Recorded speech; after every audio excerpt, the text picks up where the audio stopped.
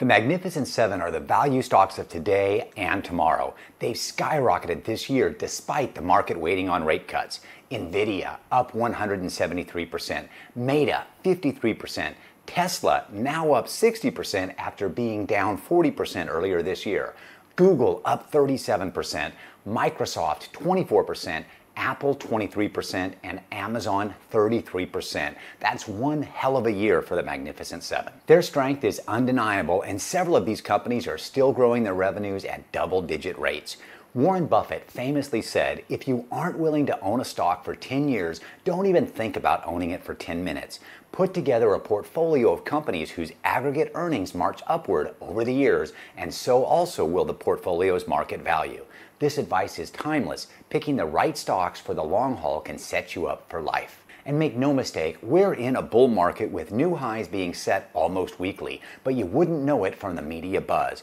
All you hear is negativity and recession fears. But here's the thing staying committed through good and tough times is crucial for long term success. It's never easy, but nothing worthwhile ever is. Look, I don't know what the markets are going to do, but I do know that for long term investing, it's all about being in the right asset class. The Magnificent Seven are leading the way, proving their worth time and again. At the end of the day, investing in your best stocks is key, and today we're going to do a side by side beast mode fundamental analysis for what I call the Magnificent Six, and I'm excluding Amazon due to its lower profit margin. Let's dive in and see if we can find the top two or three stocks that will be magnificent.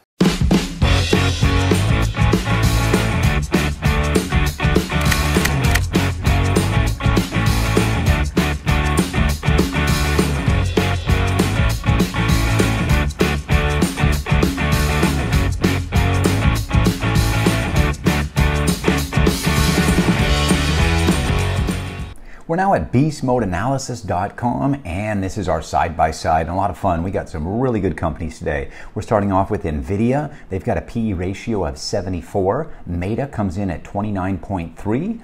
We've got Tesla 59.2, Google 28.4, Microsoft 40.2, and Apple 34.8. And if you need the ticker symbols, NVIDIA is NVDA, Meta META, Tesla TSLA. Google is GOOGL or GOOG, Microsoft MSFT, and Apple AAPL.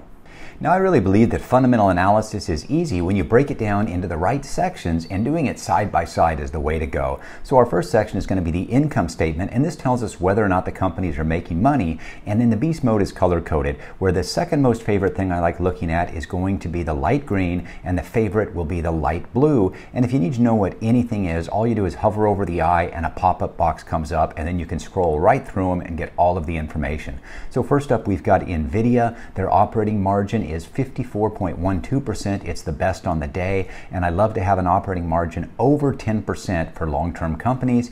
We can see that Meta comes in at 34.65, Tesla 9.18, Google 27.42, Microsoft 41.77, and Apple 29.82. For the net income margin, our winner is Nvidia again with a very impressive 48.84%. Coming in at number two is going to be Microsoft at 34.14%. Number three, Meta, 28.98%. Then Apple, 25.3%, followed by Google, 24%, and Tesla bringing up the rear at 15.49%.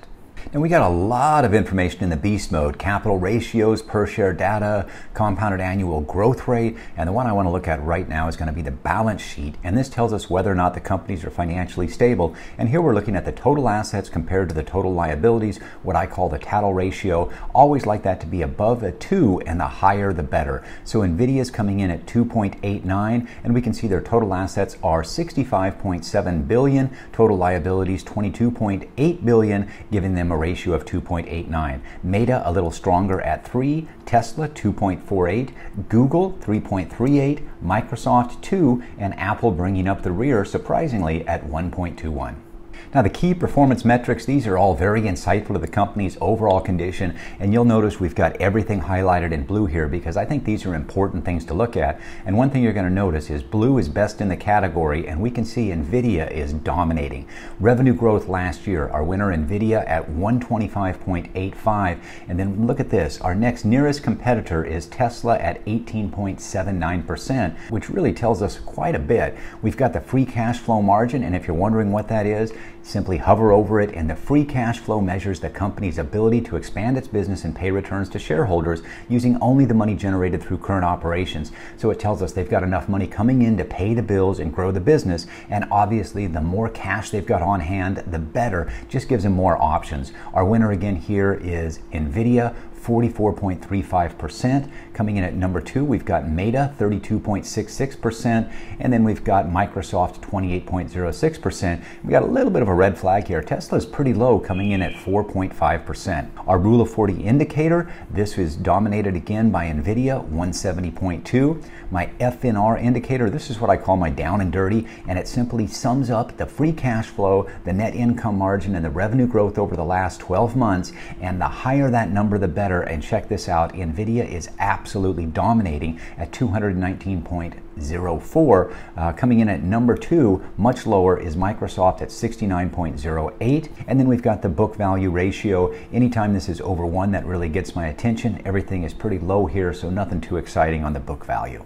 Management effectiveness tells us how well management is generating returns for investors. And we've got two things I like to look at the return on equity, which everybody should be familiar with as a stock investor, and then what I call the 5R indicator. And this sums up all fives of the returns that are measured and again, this is my own metric, just one that I like looking at. And the higher that number, the better. Here we've got NVIDIA number one at 368.2. We've got Meta 125.9, Tesla 93.4, Google 129, Microsoft 158, and Apple surprisingly high here at 359.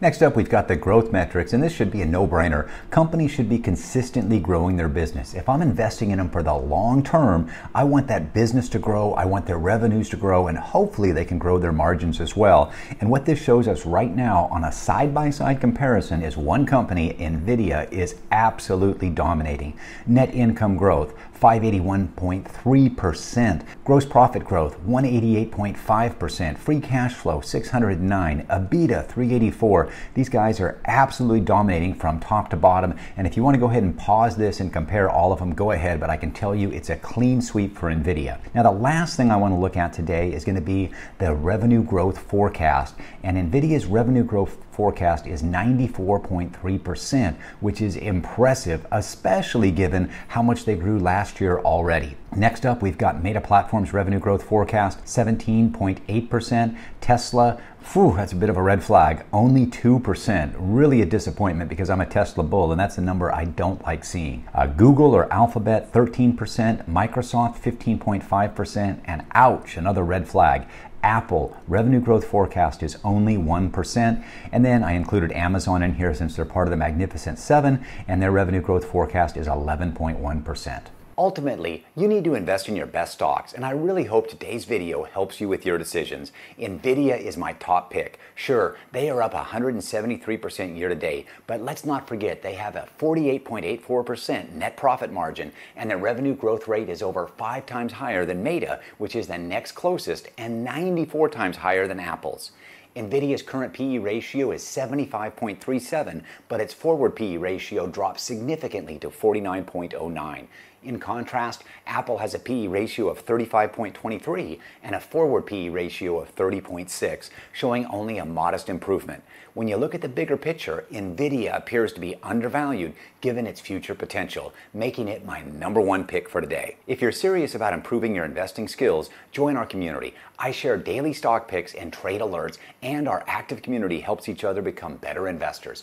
Join my Patreon to learn how to evaluate companies, invest long term, and use options for short term gains.